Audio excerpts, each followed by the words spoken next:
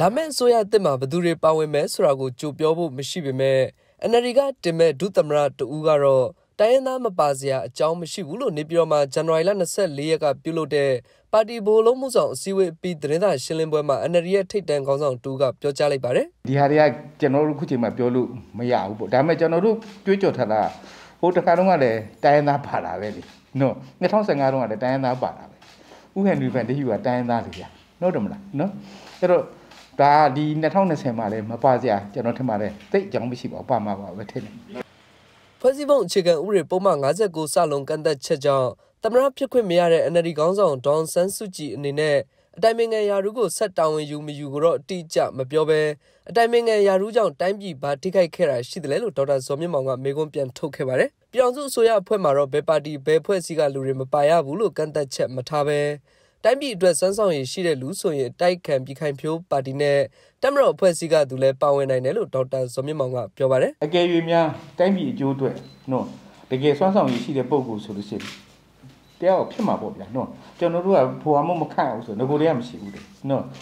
ကြမ်းခိုင်ဖို့မျိုးရမခံဘူးတက်မတော်ဘက်ကမမခံဘူးဆိုတာမရှိဘူးလေရေးကြည့်တဲ့တိုင်းပြည်အကျိုးတကယ်ပဲလုံနိုင်တဲ့စွမ်းရည်ရှိတဲ့လူဆိုလို့ရှိရင်ကတော့အဲဒီပြည်တော်စုအဆင့်မှာပါလာမှာပေါ့နော်ဒါပေမဲ့ကျွန်တော်ကတော့မပြောနိုင်ဘူး။ဘာကြောင့်မပြောနိုင်လဲဆိုတော့ကျွန်တော်မသိနိုင်ဘူး။ဒါပေမဲ့တိုင်းနယ်ပြည်နယ်ဝန်ကြီးချုပ်တွေကိုတော့ပါတီအပေါ်တစ္ဆာရှိပြီးအရေးချင်းရှိသူကိုသာခန့်အပ်ဖို့ရှိတယ်လို့ဆိုပါတယ်။တိုင်းနယ်ပြည်နယ်ဝန်ကြီးချုပ်တွေအဲ့ဒီဝန်ကြီးချုပ်တွေအခုရှိတာတော့ကျွန်တော်ပြောတာကျွန်တော်ခဏခဏလည်းပြောပါတယ်။ NLD ပေါ်တစ္ဆာရှိတဲ့သူဖြစ်ရနော် NLD ပေါ်တစ္ဆာရှိတဲ့အပြင်ဘာလဲဖြစ်ရမလဲဆိုတော့အရေးချင်းတော့ရှိလို့ရှိမှဖြစ်မှာပေါ့ဗျာ NLD ပေါ်တစ္ဆာရှိတယ်အရေးချင်းမရှိဘဲနဲ့ဆိုတော့လည်းမဖြစ်နိုင်ဒါအပြင်ကျွန်တော်တို့ကဘာလဲဆိုတော့ပြည်သူနဲ့ဆက်ဆံရေးလဲကောင်းအောင်မယ်နော်အဲ့တော့လဲတဲ့တဲ့လူတွေလည်းလဲခဲ့ပြီးပြစ်ချက်ရှိတဲ့လူတွေလည်းပြစ်ဒဏ်တွေခံသွားရတာလည်းရှိတယ်အဲ့တော့ဒီမူဆိုတာတဲ့ဆာလို့ရှိရင်ကျွန်တော်တို့ဒီအခု9နှစ်အတွင်းမှာစွမ်းဆောင်ရည်ကောင်းတဲ့လူတွေရှိသလိုစွမ်းဆောင်ရည်နှိမ့်ကြတဲ့လူတွေရှိတယ်ဘာပဲဖြစ်ဖြစ်အကောင်းဆုံးဖြစ်အောင်အဲ စကားရှိပါတယ်အဲ့ဒါဘာလဲဆိုလို့ရှိရင်တိုင်းနယ်ပြည်နယ်တွေကဒါစွမ်းဆောင်ရည်ကောင်းမယ်ဆိုလို့ရှိရင်ကျွန်တော်နိုင်ငံတည်ငြိမ်ရေးနဲ့ဖွံ့ဖြိုးရေးอ่ะသူ့လိုလိုဖြစ်လာနိုင်တယ်ပေါ့နော်အဲ့တော့ဟိုတိုင်းနယ်ပြည်နယ်တွေမှာအစိုးရအဖွဲ့တွေအရေးကြီးတယ်ဆိုတာတော့တတ်မှတ်ထားတာရှိပါတယ်အဲ့ဒါတော့ကျွန်တော်တို့ပါတီပါတီကိုယ်တိုင်ကိုယ်တိုင်ကတတ်မှတ်ထားပါအဲ့တော့ရွေးတာလည်းအကောင်းဆုံးတွေဖြစ်အောင်ရွေးမှာပဲဗျာနော်